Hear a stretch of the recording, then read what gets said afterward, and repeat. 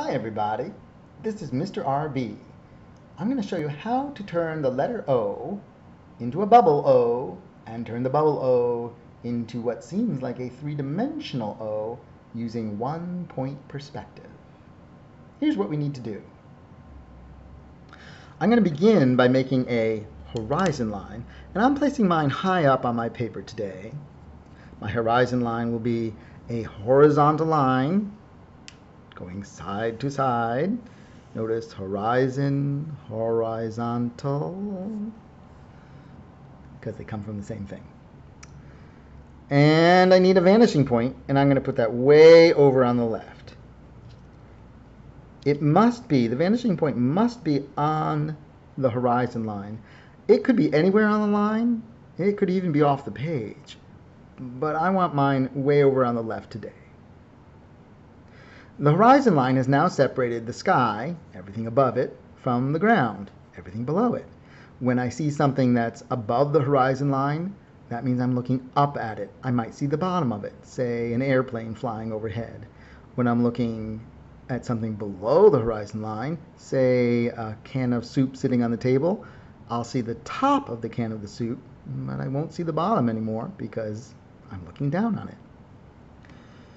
We're going to use that to help make our O look more three-dimensional. And here's how. First, I'm just going to draw a nice circle. And what I'm going to do to draw a circle, I hold my pencil with the tip just off the page, and I go round and round and round and round. And when I feel like I'm getting a nice round shape, hmm, not my best, but it'll work. And now I need a smaller one in the middle. Ooh, it could be directly in the middle or a little off to the side. There's a lot of ways to draw the letter O. And yes, I've even seen some that were very blocky and angular. Hey, that's pretty round there. All right, now I'm ready to use my one-point perspective to create the illusion that this is a three-dimensional form. Here's what I'm going to do. I'm going to put my pencil on my vanishing point, my ruler on the pencil, and then I'm going to um, pivot my ruler like I might pivot my leg or my foot in um, basketball until it touches the O. Oh, touch the outside of the O. And then I'm going to connect to that spot. I'm going to do this on the other side. I'm going to pencil on the vanishing point ruler on the pencil, and I'm pivoting my pencil till I touch the O. Not too bad. Now, I want to get a nice, smooth curve when I put in the back line, and I want it to match this. I also notice that I have this slight blip in here, and maybe I want to keep that, and I want to have that show up in the back wall as well. This is how I'm gonna. This is what I'm gonna do. I'm gonna put my pencil on the vanishing point, ruler on the pencil, and then I'm gonna add like about a say a half inch line, and I'm gonna move up a little bit, and add another like half inch line, and then I'm gonna put my pencil back on the vanishing point, move my ruler again, and add another oh I don't know half inch line, and then I'm gonna add put my pencil on the vanishing point, move my pencil again, and add yeah, that's right. No, I know. A half inch line. I'm going to keep doing this until I make my way all the way over to that line I originally drew there. I think I could fit one more in with no problem. I'm going to use these little lines as guides. And I can make as many as I need to. Oh, like over here, I think I want to add another one right here. There we go. I now can go make a curved line that goes along the tips of all of those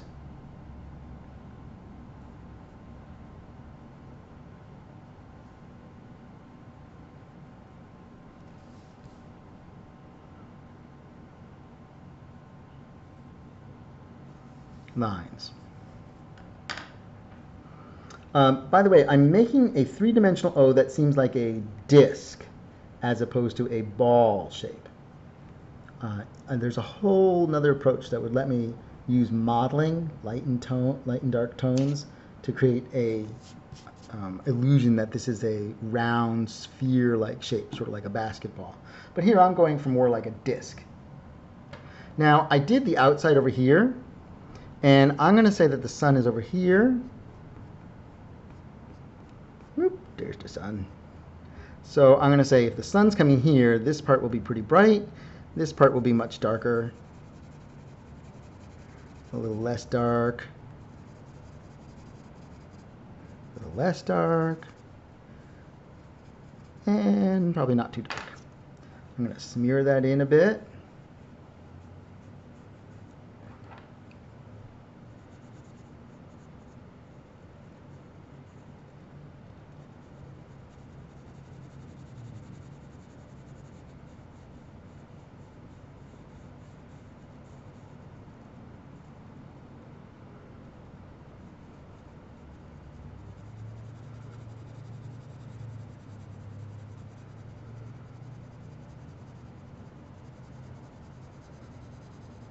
I'm just adding layers of tone and making this really dark down here.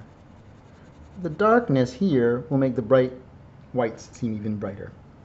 And I can smear those together to make them softer so you notice the shading but you don't notice the mark making.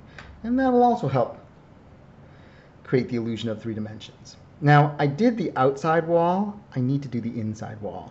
I'm going to do the same thing along here that I did up in here. Watch and see. I put my vanishing, my pencil on the vanishing point, my ruler on the pencil, and I'm going to make about a half inch long line. And then another half inch long line. And then another half inch long line. And we'll see if we can fit another, not so much, and that's okay. I'm going to go back the other way because I didn't do this side. All right, let's try that. I'm going to make about a half inch long line and another one. By the way, the amount, like the fact that it's half an inch, that's totally arbitrary. I just picked an amount. And if you were not using, let's say you were using a piece of cardboard, you could just mark out a little piece and figure out how it should be. So now I have all these tips, by the way, but you could you don't have to use a ruler. I, I like the convenience, but you don't have to. I'm just going to connect these with a nice curve. Oops. That echoes the curve of this over here, the front that I originally drew. And once again, um, the light is coming from here. This is inside. The roof, roof, might put this in shadow, but um, if any light gets there, it'll tend to fall here more than up here. So that's definitely the opposite. I'm going to just get some nice dark tone in there.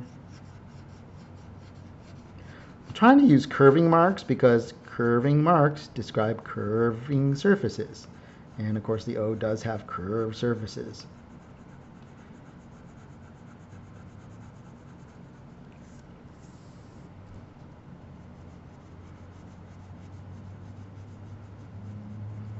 Now, if I was drawing from observation and looking at an object shaped like this, I could look and see what was going on with the light. But we're just creating ideal shapes and what we think ideally would happen. We have to sort of figure out what we think should happen. I have to say, knowing those things comes in real handy when I am working from observation.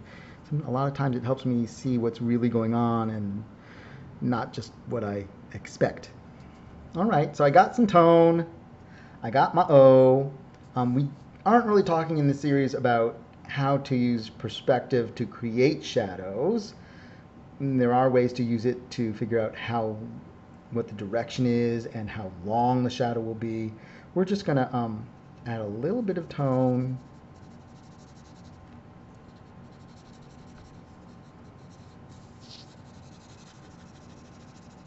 all around here.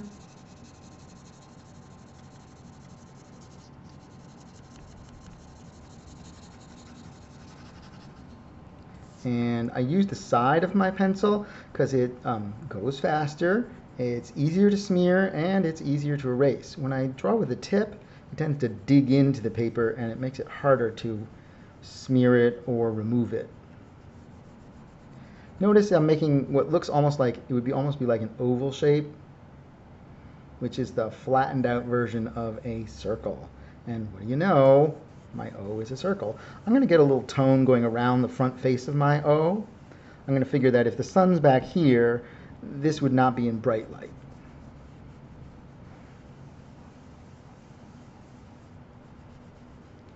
But I do want to clean up the white in the middle because that should be nice and bright. Add a little extra dark down here. And I think we're just about done with the O. Well, O's are so useful. Those vowels. Put those with a couple other letters, and you're not just doing letters, you're now doing words. Mmm, there's a fun idea. Well, I hope you have fun with the O and any of the other letters you're trying out. And I'll be talking to you real soon. Thank you very much. Bye, everybody.